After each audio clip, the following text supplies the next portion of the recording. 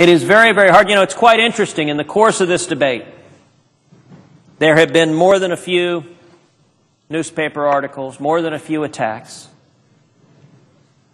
from our friends on the Democratic side of the aisle and also from our friends on the Republican side of the aisle. I told my wife I now pick up the newspapers each day to learn just what a scoundrel I am and just what attack will have come, some on the record, and, and some actually the ones that are they're often even better are the anonymous ones.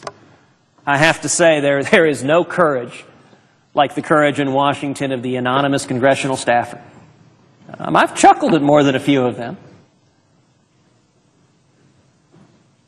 But you know, it says something, Mr. President, that members of this body, that congressional staffers, that members of the media, want to make this about personalities. They want to make this about a battle of this senator versus that senator, this person versus that person. So it's all personal. It's like reading the Hollywood gossip pages. That's how this issue is covered. And it's not by accident.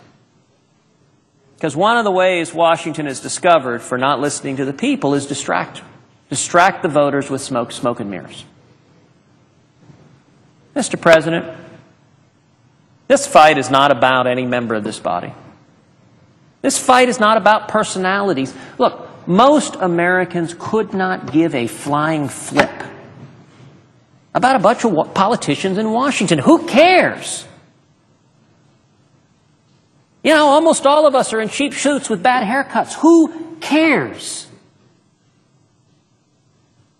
What the American people care about is their own lives. What the American people care about is giving their kids a better future. What the American people care about is having a job, a job with a future. Not a job where they're working 29 hours a week, where they're punching a clock, where they feel like they're just going through the motion, but a job where they say, hey, I've got a career. I can see the next step. I can see the future for my family. That's what the American people care about. And so, Mr. President, regardless of the rocks that will be thrown, and they will continue to be thrown, I have no intention of engaging in that game. No intention of speaking ill of any senator, Republican or Democrat. Because it's not about us. And anyone who is trying to make this a battle of personalities is trying to change the topic from the topic that should matter. Whether or not Obamacare is helping the American people. Mr. President, if you focus on the substance, the evidence overwhelming. This law is a train wreck.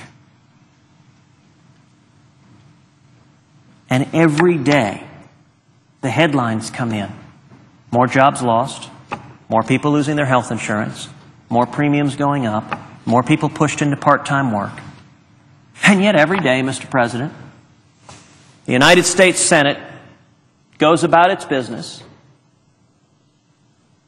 and says, we're too busy to listen to the American people.